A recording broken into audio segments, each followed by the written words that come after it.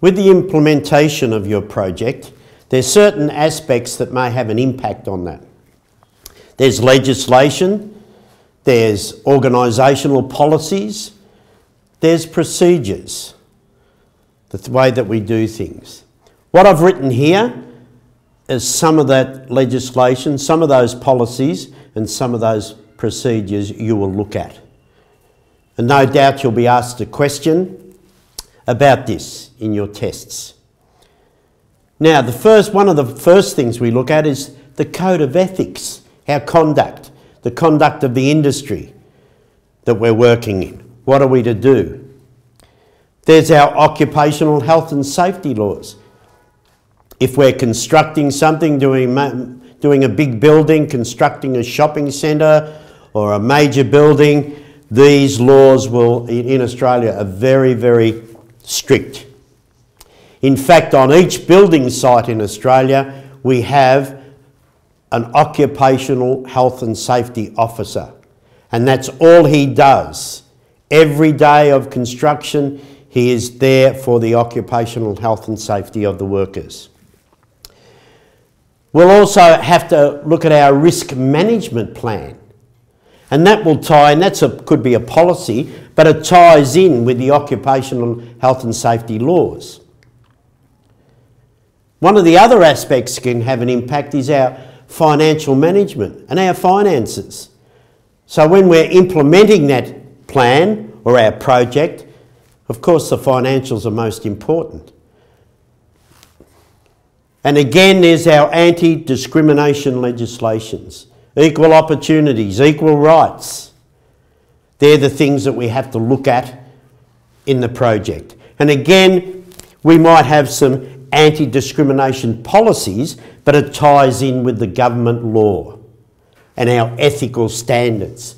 It can all tie in together. How you, human resources. Again, there are certain laws in Australia, again about equal opportunity and privacy, etc. And uh, there's also our policies. So they're the other things when developing the project that we've got to seriously look at.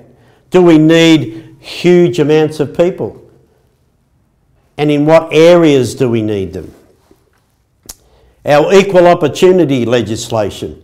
Remember, in Australia, everyone is equal.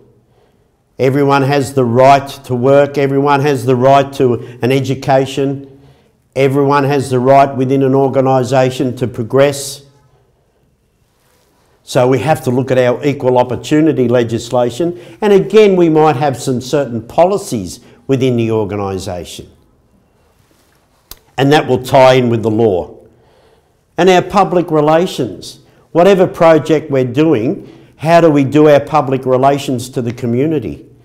If we're building a huge construction, a brand new apartment house or shopping centre, what effect will it have on the local community, the local councils? What is our public relations going to be on that? So there's some of the aspects that we could impact on your project. You know, we're building a big shopping centre. How are the citizens around there that live around that area? How do they feel about the parking, the increased traffic, the noise?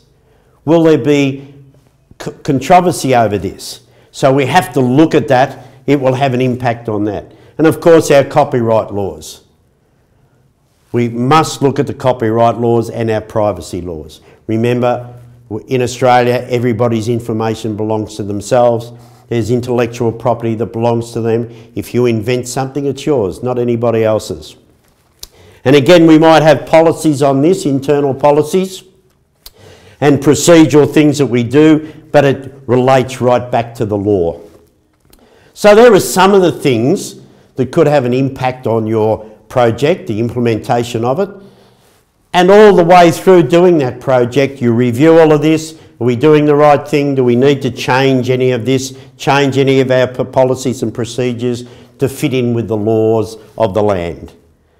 So remember, when you're implementing your project, look at all of these things and do we have to change them, abide by them, or do anything that will fit in with our project.